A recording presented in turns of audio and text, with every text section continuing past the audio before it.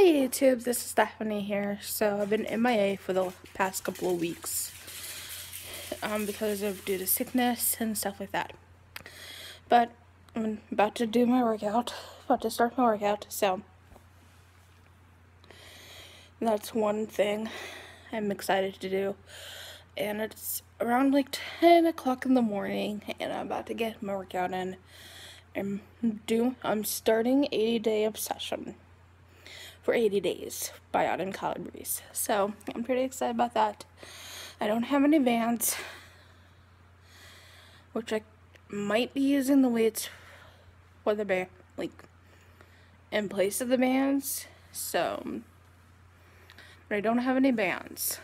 Um, I don't have any sliders.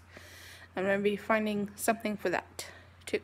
So, um, anyways, it did this Day one is total body core.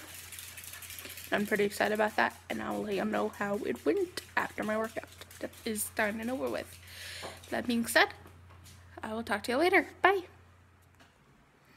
Hey YouTube, Stephanie here. So I just finished day one's workout of total body total, bo total body core, and it was actually 60 minutes long. Hey, it was an hour long, so I finished all that. I didn't even take a break or anything, but I managed to get it all done. So day one in the book, 79 more days to go. Um, the 80 day obsession will be the life changer for me. I guarantee that. Um, anyways, that's it for now. And I will check back in tomorrow for day number two. See y'all tomorrow. Bye.